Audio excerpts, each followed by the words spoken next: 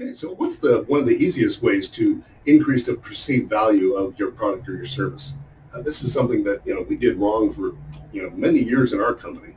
Uh, you know we we had sold uh, in the past. You know we were primarily selling cold calling services and, and telemarketing things like that. And of course, you know people think you know in terms of that as a commodity because hey, you know I'm going to hire some telemarketing firm or some cold calling firm to set appointments for me, whatever. It's just you know, I'm going to hire some low end people and they're just going to dial for dollars for me, you know.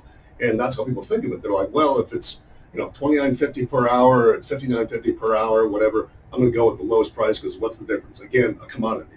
Uh, because, you know, we would sell, you know, not only that, but we had a bunch of other things that went along with it, but we wouldn't break that out for the client. We would just say, here's the total price, here's what you get.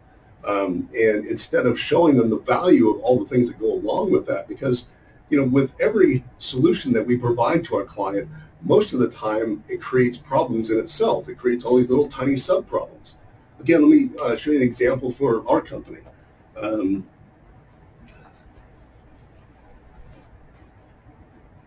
you know, the sort of the top line product, if you will, um, is the actual cold calling, the physical. They're using our people who are professional salespeople, professional um, cold callers to call and generate leads for them uh, so you've got that, that cold calling aspect of it. And it's, you know, we typically, it's in the past, it's sold it as particular number of dials per, you know, cost or whatever, not on an hourly basis. Um, and so let's just say you've got cold calling and let's say for a, a campaign, you know, it cost you over six months, you know, it cost you 6K or whatever. And you think, okay, well, that's what it is. And, you know, that's where the cost and that's what it is. So of course, that's a, that's a fair markup for the company, whatever, you know. Um, and they think, okay, so what's the total price? What should it be? Well, 6K, because there's nothing else to it. But you know what we didn't talk about and what we didn't break down for the client is the value that, that's inside that. Because you've got a solution to this problem, the cold calling. It's getting out and finding customers for you. But how do you actually um, how do you actually do that? Well, uh, first it creates a problem. Like, well, who do you call?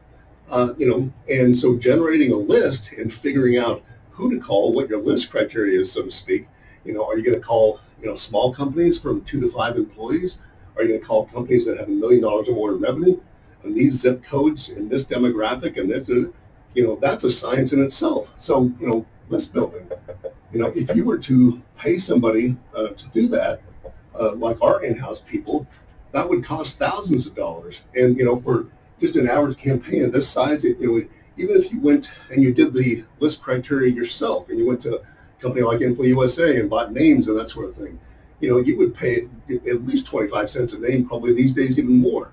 Um, you know, and so you could be, you know, let's just say, you know, 1500 you know, um, in uh, just in the pure cost of things. That doesn't include having somebody, a consultant or somebody who knows what they're doing, tell you, okay, the, this is the criteria you need to use to be most effective because you're going to waste an enormous amount of uh, time and money um, trying to do, um, trying to experiment, try to find the right businesses to call, right list to call.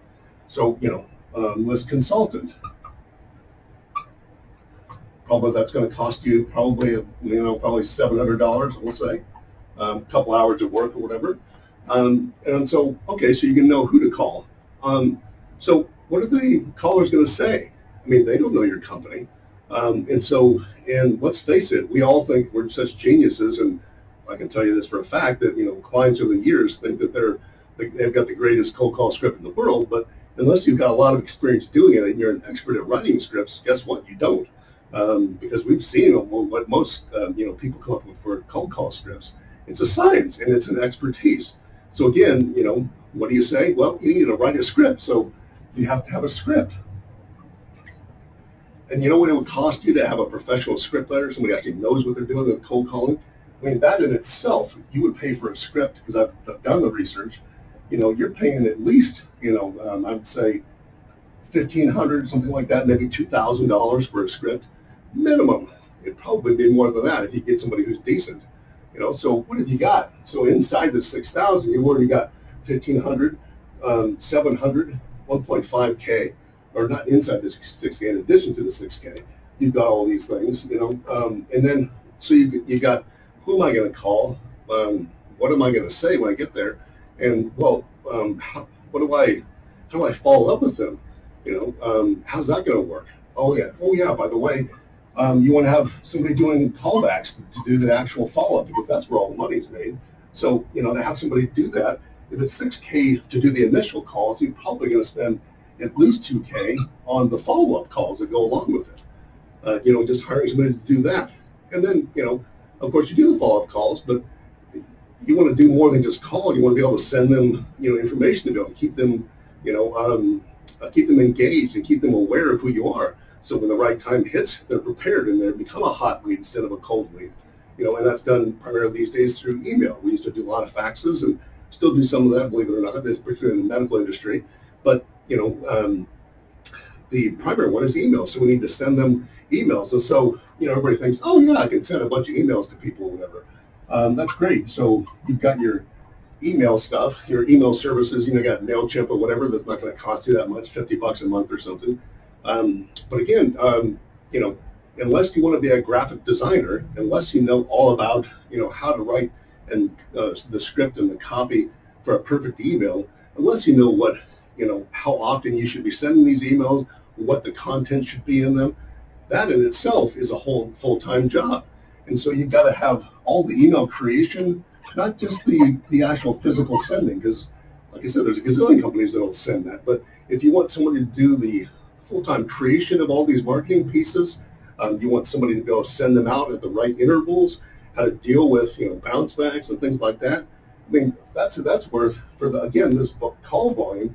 I mean, it's worth at least 2K, probably you know probably uh, three or 4K, but I'm just going to be conservative and say 2K. You know, um, and then of course you know so you know who you're going to call, what you're going to say, how you're going to follow up with them, um, and then you know of course you've got this is a lot going. How are you going to track this? How are you going to figure this out? Well, you know, there's a gazillion CRM systems out there that you can use different things, you know, and all that. But, you know, um, in order to track this, you need something to do it. You know, you need some kind of system. But this is kind of unique. You know, it doesn't fit into every, you know, CRM system that's out there. I mean, there's ones that are more flexible than others, but it's not set up specifically for this process and this way of doing sales. And so, you know, what if we provided you, which our company does, you know, your personal, you know, um, sales portal and CRM that actually fits this model.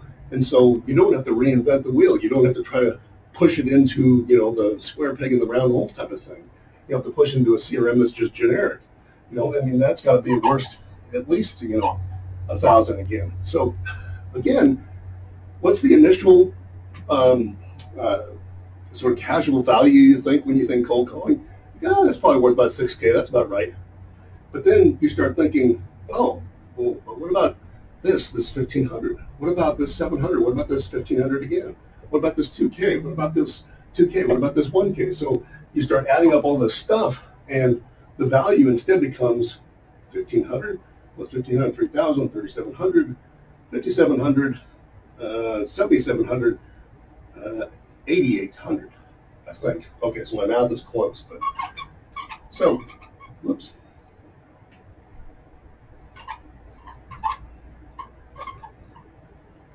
And that's 8,800. That value right there that you're getting inside of theirs is more than the 6K to start off with. So if you add those two together, you know, you're at 14.8 uh, in total. And so, you know, if you tell a client, hey, you know what, you get all this, um, and the value is 14.8 or $14,800 because you get all this stuff, and that's a minimum. It's probably worth more than that. But guess what?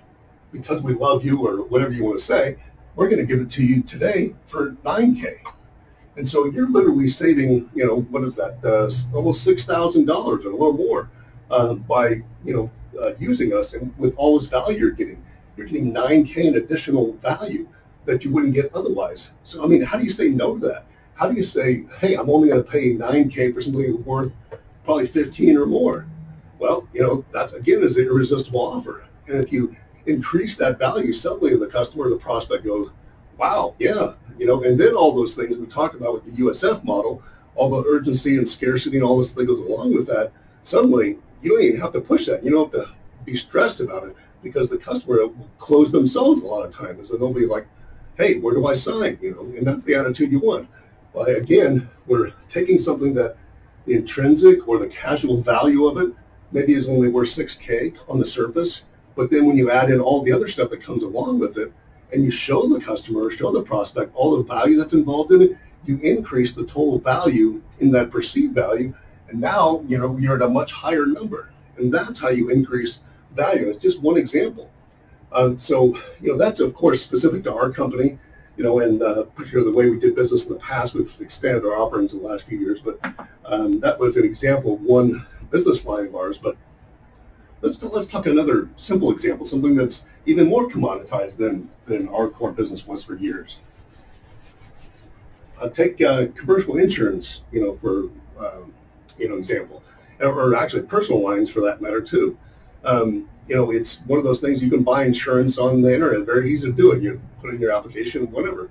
People advertise, and a lot of our clients are insurance agents in the commercial industry in particular, uh, but also in the, the personal lines. And you know, they're frustrated because they understand that they've got a lot of value uh, being an agent and really advising somebody through the process. But what are they stuck? in? they're fighting against the commoditization of their industry, where their big companies are almost competing with their own people that are selling their product by a lot of doing it online.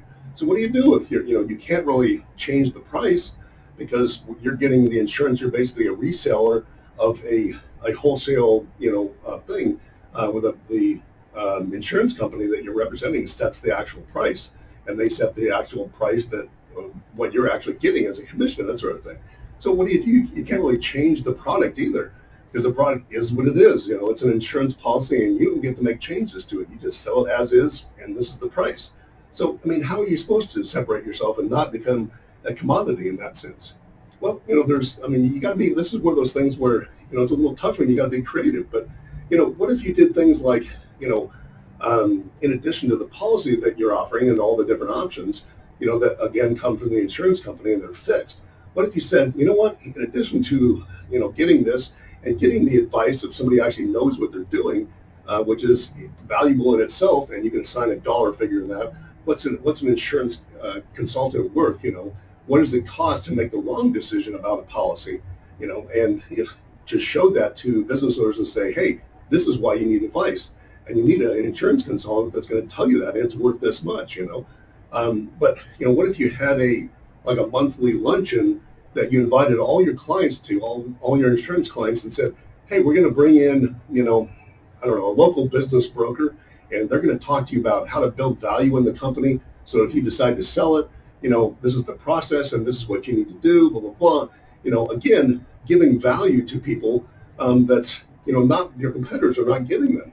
You know, what if you had a referral network where you said, hey, we vetted all these different vendors vendors that you use, you know, for your companies or whatever, if they're talking to business owners, and say, hey, we use vendor X, Y, and Z. We've checked them out. They're good. You can rely on these people. And oh, by the way, you know, um, they'll give you a discount because, you know, you come from us or whatever, you know.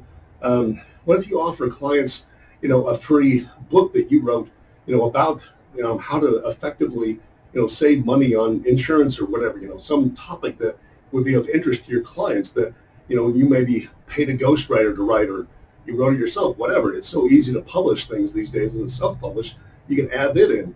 You know, what if you um, you could develop a mastermind where again you invited your business owner clients and once a month, you know, they're non-competing industries and you just kind of were the the person that um, you know kind of uh, ran the show and, and moderated and everything. But again, that's huge value and people pay a ton of money for those kind of things and that that's a way that you add value and perceived value in particular to make your product, your service, in this case, insurance, a lot more exciting and a lot less commoditized. So it can be done, and there's lots of ways to do it.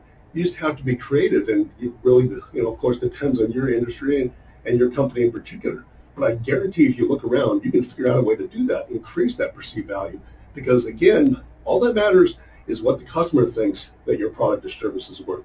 Doesn't matter what you think it's worth. Doesn't matter how long it took you to make and how difficult it is and everything, how much you love the product or service. You know, that's the biggest problem, I think. People fall in love with their product or service, not their clients.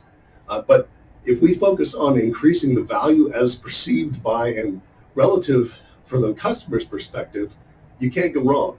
And that makes the whole HSC product or project, uh, excuse me, process so much easier. And you will have that confidence and you'll know as you go through, you can fully represent that story. And when you get to the close, like I said, there's no stress there because you've already covered a lot of these things for the client. You've increased that value and made it so it's a no-brainer. Of course they're going to buy. You know, and that gives you the confidence to be able to ask for the order, which most salespeople are scared to do because they don't. They think that what they're selling is so much, uh, so expensive, whatever, and they don't realize again from it's from the customer's perspective, not theirs. So implement this in your business and figure out how to increase that perceived value because that's what it's all about.